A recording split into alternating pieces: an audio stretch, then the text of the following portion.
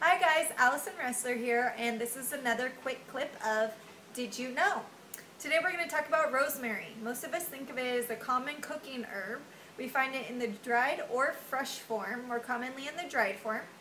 We often use it with pork and beef dishes, occasionally with chicken. But did you know it has anti-inflammatory properties? That means it helps inflammation in different parts of your body, the same way that ibuprofen does. It's a natural antidepressant, so instead of using Prozac, go ahead and eat more things with rosemary in it. It serves as an expectorant as well. If you're not sure what an expectorant is, it promotes the discharge of phlegm and other fluids from the respiratory system. So when you're sick, you have that cough, that cold, you can't get rid of it, eat things with rosemary in it. It's also an aphrodisiac, so fellas, if you're looking to get lucky tonight, go ahead and cook your woman something with rosemary in it. It's also a natural disinfectant, so you can combine it with vinegar and other things and make a natural disinfectant cleaning product for your house.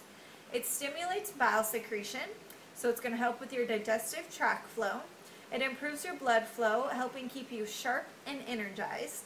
It also calms digestion with digestional issues that are caused from stress. So you were at work all day, you had a big project, you had a poor meeting with your boss, your stomach's upset have things that are um, full of rosemary. You can also use it for calming cramps and things like that. You want to get a lotion or an oil with rosemary in it. It also battles anxiety, sadness, and fatigue. So it will keep you energized, keep you feeling happy. Those are some of the positives. Here's a couple tips, things you can do with rosemary. It acts as a natural insect repellent. So plant various little bushes of rosemary or potters of rosemary around any of your areas that you commonly are where there are insects, mosquitoes, flies, like that. If you have those in the general area, you will not be bothered by insects. Also, if you want to naturally um, flavor your meats, go ahead and throw some sprigs in the barbecue on the coals, and it will naturally flavor the meat with a tint of rosemary. I hope that's helpful, so go ahead and try some different rosemary recipes this week. Switch it up on your taste buds and for your health.